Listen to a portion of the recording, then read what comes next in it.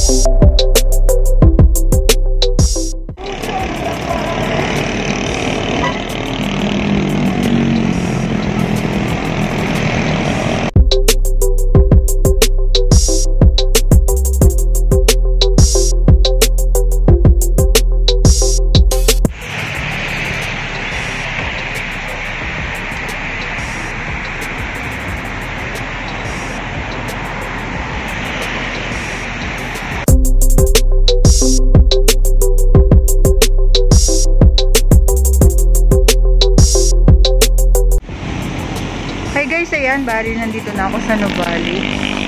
Ah, iikot-ikot lang ako dito. After dito, pauwi na rin ako guys.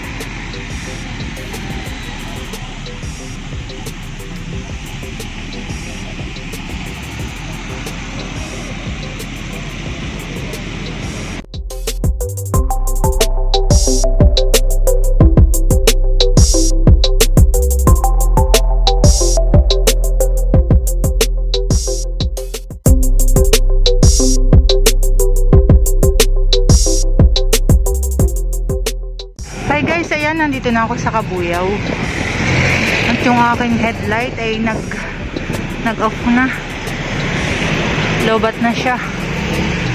Update ko na lang kayo kapag nasa bahay na ako guys. Hi guys, ayan, nandito na ako sa bahay. Time check, 7.55pm. Ba't kaya wala pa si Papa Lito? Hanggang dito na po ulit ang aking vlog. Uh, please subscribe my YouTube channel, Linagalan. Pa-like, share, and comment lang din po guys. See you on my next vlog. Bye-bye!